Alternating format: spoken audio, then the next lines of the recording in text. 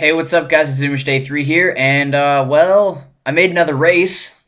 Uh, yeah, I hope you guys like it.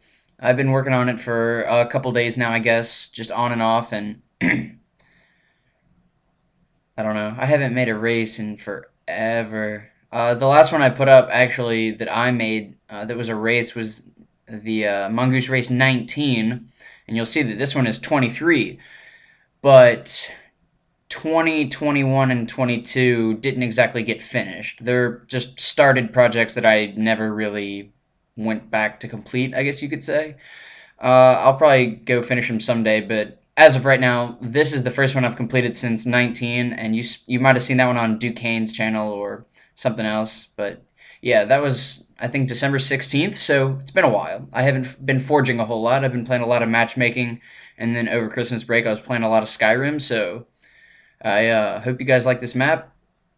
You'll see it's just basically littered with uh, aesthetics around the outside of the track. That's my main thing, really, because when I'm racing, when I crash, I uh, it's usually because I went off the outside of the track. So it kind of helps me and makes it look a little bit cooler. So you might have noticed that it does a little bit of a bicycle there. It goes up on two wheels. I'm kind of proud of it. I hope you guys like it. Uh, the barrel roll, I will not say I'm proud of at all. It isn't exactly the most consistent thing in the world, but whatever. So you see here, I just put some like uh, big incline things and uh, like this with the long tunnel pieces.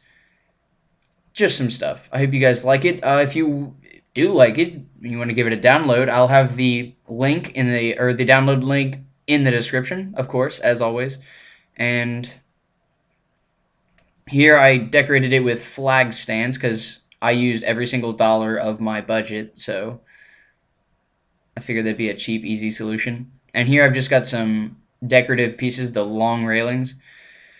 Okay, so I always have variations, so here's this variation. It's with the special effects Next Gen and Juicy and Pen and Ink, and it really makes the colors look ridiculous. I don't know if this video is going to do it justice. It probably won't.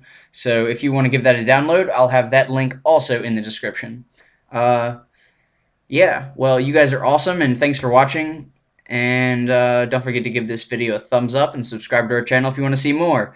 Uh, and leave a comment if you like it, if you don't like it, what you like about it, what you don't like about it, all that stuff. I didn't exactly feel like reviewing my own map because I know what I like about it, I know what I don't like about it, and all that. So yeah, give me your opinion, and I like feedback. Try to be nice about it if you're going to say something that's negative, but yeah, sweet.